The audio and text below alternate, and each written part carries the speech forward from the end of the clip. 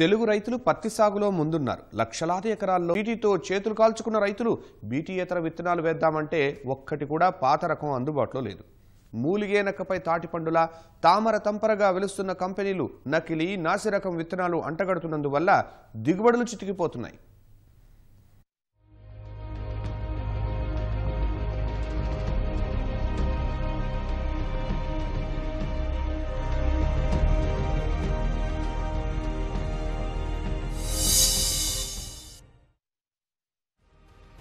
తెలుగు రాష్ట్రాల్లో సుమారు యాభై ఐదు లక్షల ఎకరాల్లో పత్తి సాగవుతోంది తెలంగాణలో అత్యధికంగా నలభై లక్షల ఎకరాల్లో వర్షాధారంగా పత్తిపైనే చిన్న సన్నకారు రైతులు ఆధారపడుతున్నారు. కాగా వీరంతా దశాబ్దమున్నర కాలంగా బీటీ విత్తనాలని నమ్ముకొని సాగు చేస్తున్నారు. ప్రారంభంలో రైతులని ఆదుకున్న బీటీ ఇప్పుడు తన విష స్వభావాన్ని చాటుకుంటోంది. సాగుదారులని నిలువున ముంచేస్తోంది. గులాబీ పురుగుతో గుల్లైపోతున్నామంటూ రైతులు బోరుమంటున్నారు.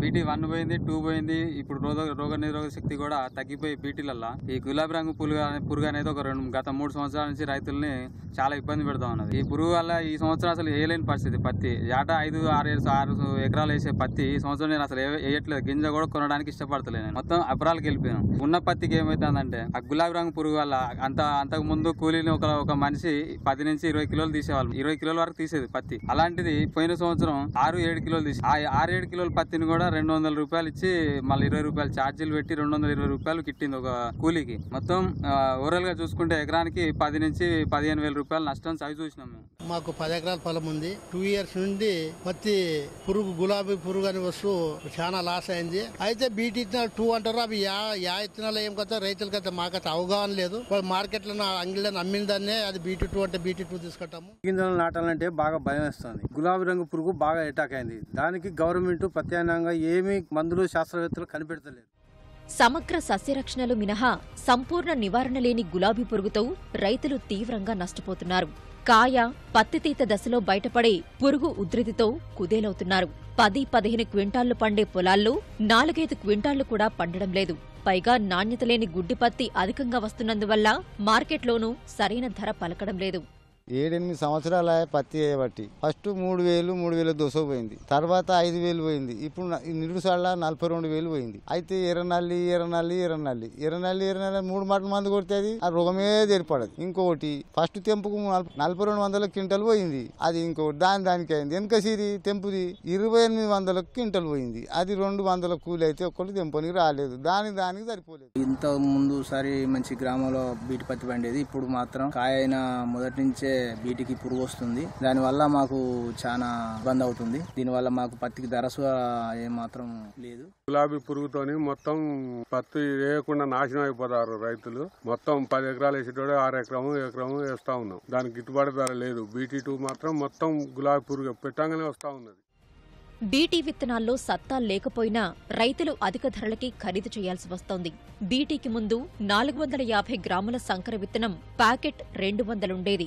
ఆదిలో బహుళజాతి కంపెనీలు బీటీ విత్తన ప్యాకెట్ని రెండు వేలకి విక్రయించాయి. ప్రభుత్వ నియంత్రణ లేకపోవడంతో ఇటీవల కాలం వరకు అధికంగా వసూలు చేశాయి.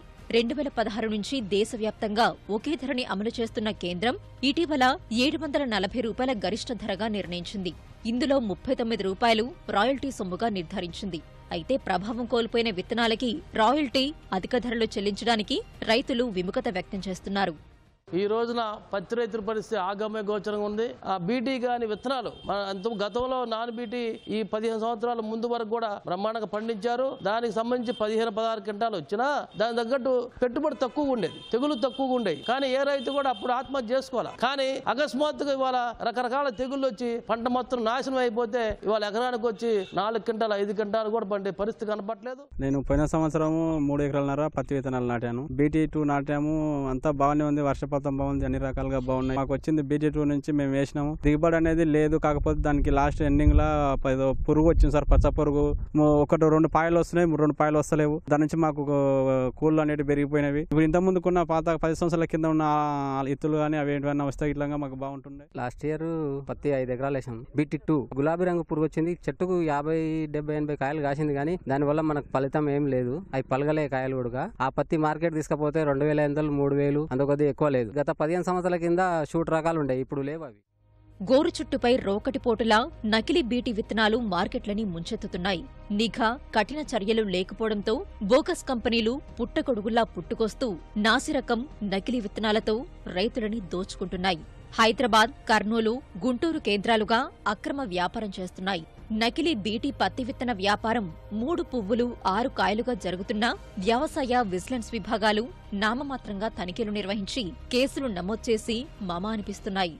గత రెండు మూడు సంవత్సరాల నుంచి చాలా పెద్ద ఎత్తున రైతులంతా చాలా నష్టపోతున్నారు. నకిలీ విత్తనాలతో గానీ మిగతా విత్తనాలతో గానీ చాలా పెద్ద ఎత్తున నష్టాల పాలవుతున్నారు. ప్రభుత్వం మాత్రం ఎక్కడ కూడా గుర్తించట్లేదు. గత సంవత్సరం నకిలీ విత్తనాలతోని చాలా మంది పెద్ద ఎత్తున వేల ఎకరాల్లో నష్టపోయిన రైతులు. వారికి మాత్రం ఇప్పటికి కూడా ఒక రూపాయి కూడా నష్టపరిహారం అందని అందించలేదు. అదేవిధంగా ఇప్పుడు విత్తనాలు వేసే టైం కాబట్టి విత్తనాలు ఏ విత్తనాలు వస్తున్నాయి ఎక్కడెక్కడ పెడుతున్నారు ఎక్కడ స్టాక్ పెడుతున్నారు ఇదంతా ఈ అధికారులు మన అగ్రికల్చర్ అధికారులు తప్పకుండా పర్యవేక్షణ ఉండాలి. అదేవిధంగా విత్తన చట్టం కూడా తప్పకుండా అవసరం. మనకు? రెండు వేల పదిహేడు పద్దెనిమిది సంబంధించి విత్తన నమూనాలు పదమూడు వందల యాభై నమూనాలు తీయాలనేది టార్గెట్గా పెట్టడం జరిగింది. లక్ష మన జిల్లా గుంటూరు జిల్లాకి. అందులో పదమూడు వందల యాభై శాంపిల్స్ మనం తీయడం జరిగింది. ముఖ్యంగా అందులో ఐదు వందల తొమ్మిది పత్తి శాంపిల్స్.